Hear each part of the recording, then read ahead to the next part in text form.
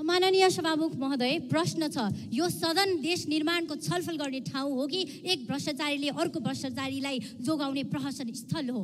नेपाली नागरिकलाई भुटानी शरणार्थी बनाएर विदेश लैजाने काममा देशका ठुला ठुला निकाय र राजनेताहरू संलग्न भएको कुरा बाहिर आइरहेको छ। प्रहरीद्वारा पक्राउ पूर्जी जारी गर्दा समेत जोगाउन खोजिएको छ। एकले अर्कालाई जोगाइरहने काण्डै काण्ड गरिरहने अनि यो देश डुबाइरहने अन्तर्राष्ट्रिय जगतमा समेत राष्ट्रलाई नै राज स्थापित गर्ने अनि के मुखले अनुदान माग्न जाने?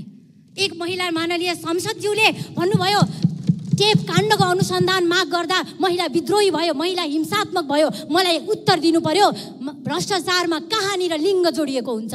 भ्रष्टाचार मात्र होइन यहाँ चिनारी फेरेर राष्ट्रघात भएको छ अपराध भएको छ कारवाही हुनुपर्छ। सम्पत्ति सार्वजनिक गर्ने कुरा पनि उठ्यो। हामी सम्पूर्णले यो सदनलाई सम्पत्ति विवरण बुझाइसकेका छौँ। आजै तत्कालै वेबसाइट मार्फत सर् सम्पत्ति विवरण सार्वजनिक गरियोस् र कर सहितको स्रोत खोज्न पनि निर्देशन दियोस्। धन्यवाद।